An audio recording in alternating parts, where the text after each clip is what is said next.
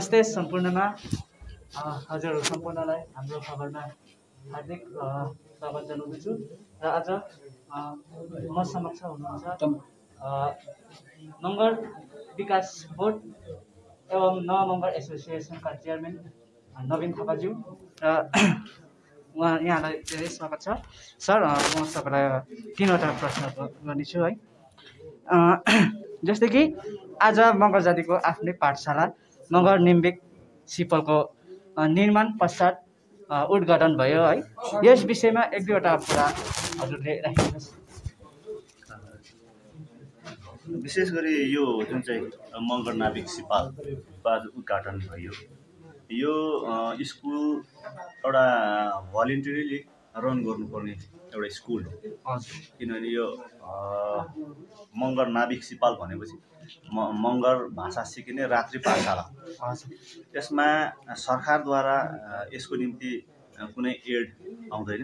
यो जुन चाहिँ हाम्रो शाखाहरू छ जतिजना ब्लक कमिटी छ हाम्रो है त्यो छवटा शाखा मिलेर यहाँनिर एउटा म्यानेजिङ कमिटी गठन गरिसकेको छ।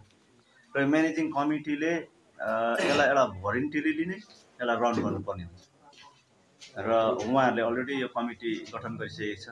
मलाई जानकारी भएको अनुसार यहाँको टिचरहरूको पनि नियुक्ति भइसकेको छ। अनि उहाँहरूको एउटा सरसल्लाह अनुसार अनि आउँदो दिनमा यसमा त यो भाषा सिकिने अब ठुल्ठुलो सानसानो नानीहरू मात्र नभएर तपाईँहरू जस्तो बडालाई छोडेर हामी सबैजना नै यो स्कुलमा पलाइटी मारेर बस्नुपर्ने हुन्छ सुरुमा। हजुर। है यो भाषाका सुरुवात भाषा पढ्ने एउटा पहिलो स्कुल भनौँ भनेदेखि भारतमा सरकारद्वारा आवन्टित राशिमा पहिलो मगर जातिको स्कुल बनिएको चाहिँ यो सानै भए पनि यही हो। मगर विकास बोर्डले बनाएको किन अहिलेसम्म सरकारद्वारा कुनै पनि सरकारले एउटा जातीय भाषा सिक्नुको लागि यो जुन चाहिँ रकम आवन्टित गरिएको थिएन। र मगर विकास बोर्डको माध्यमद्वारा आज यो दार्जिलिङ डिस्ट्रिक्ट कालिम्पोङ डिस्ट्रिक्टमा छ सातवटा स्कुलहरू अलरेडी बनिसकेको छ। र यो चाहिँ स्कुल चाहिँ विशेष गरी भलिन्टियरली रन गर्नुपर्ने हुन्छ। भनेपछि यो चाहिँ भोलिन्टियरी नै रन गर्नुहुन्छ है। भनेपछि हामीले हाम्रो भाषा एवं संस्कृतिको संरक्षण गर्नुपर्ने विषयमा के कस्तो उद्देश्यहरू पहल गर्नुभएको छ यस विषयमा? सबभन्दा पहिला त एउटा भाषा बचाउने माध्यम नै स्कुल हो। हजुर। त्यही कारण यो स्कुललाई हामीले अगाडि बनाउ बनाएर गएको हो यसको निर्माण गरिएको। हो अनि संस्कार संस्कृति भन्ने कुरो त हाम्रो जस्तो एउटा मोटिभेसनको कार्यक्रम हामीले हरेक वर्ष बाह्र इमेजम गर्छौँ।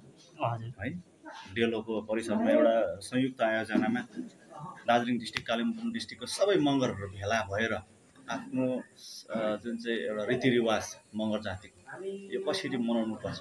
अनि यो रीतिरिवाजको उद्देश्य के हो? किन मनाउनु पर्ने? आजभन्दा पहिला त हामी नबनाउँदाखेरि पनि आफ्नो भाषा नबोल्दाखेरि पनि बाँचिरहेको थियो त भन्ने कुरो पनि कतिको मनमा त होला। तर अब पहिला धेरै कम्ती पपुलेसन भएको कारणले गर्दामा एउटै भाषा बोल्दाखेरि सजिलो हुन्थ्यो।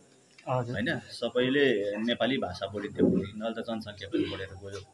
आफ्नो आफ्नो भाषालाई सबैले माया गरिरहेको छ भनेदेखि हामी मगर जातिले आफ्नो भाषालाई माया गर्नुपर्छ अनि आफ्नो संस्कार संस्कृतिलाई पनि बचाउनुपर्छ भन्ने सोचले नै ती कल्चरल कार्यक्रमहरू प्रोग्रामहरू पनि धेरै जग्गामा हुँदै गएको छ। हजुर अच्छा। अब हजुरहरूले है जुन चाहिँ यो विकास बोर्ड सुरु भएको यता अब धेरै अब सराहनीय कामहरू कार्यहरू गर्दै आइरहनु भएको छ है। र मगर जातिलाई लिएर आउँदो भावी योजनाहरूलाई के कस्तो रूपमा लिनुभएको छ त तपाईँले? विशेष गरी त अब हामीले सबै विकास बोर्डहरूले घरलाई नै फोकस गरेको हुन्छ।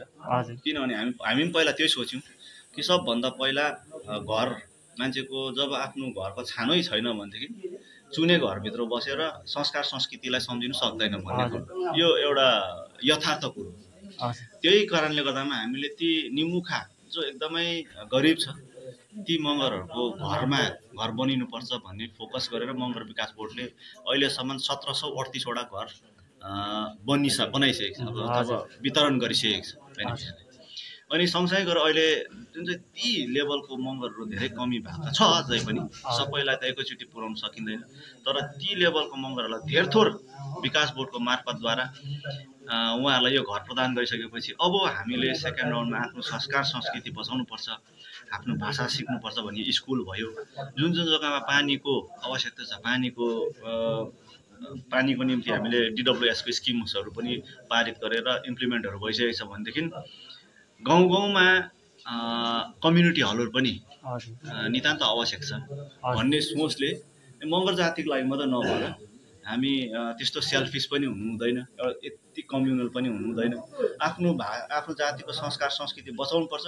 सँगसँगै गरेर अरू जातिलाई पनि प्रोत्साहन गरौँ भन्ने सोचले सबैले यसको फाइदा उठाउँ भनेर चाहिँ हामीले कम्युनिटी हल पनि यो आउँदो फेजमा अँ, साह्रो ठुल्ठुलो नभए तापनि एउटा सानो सानो कम्युनिटी गाउँ गाउँमा हामीले योपालि गर्ने जमर्को बसेको छौँ।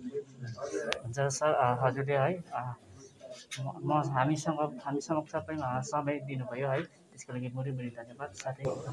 सम्पूर्ण अ, मगर विकास बोर्ड एवं मगर समुदायलाई नवनिर्मित अ, पाठशालाको निम्ति हार्दिक बधाई एवं शुभकामना। धन्यवाद।